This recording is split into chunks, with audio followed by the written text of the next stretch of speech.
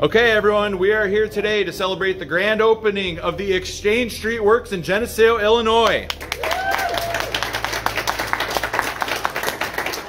What an amazing facility this is. There's so much to uh, have here with uh, the work share and the different athletic facilities. The Mickleys, congratulations and thank you for this investment in our community. Andy Moore, I know you've been very involved with this as well, so thank you for everyone who helped make this project possible. And uh, Jake, why don't you go ahead and uh, give some thanks?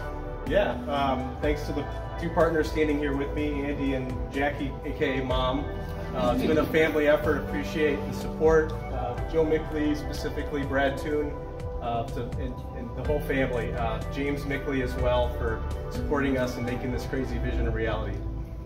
Well, this vision is an amazing reality, and uh, we look forward to watching the Exchange Street Works grow over the years. So, but in the meantime, we'll make this official with the ribbon cutting, okay? We'll cut the ribbon cutting down from three. So, three, two, one. Right here. Yeah, you got it. Congratulations.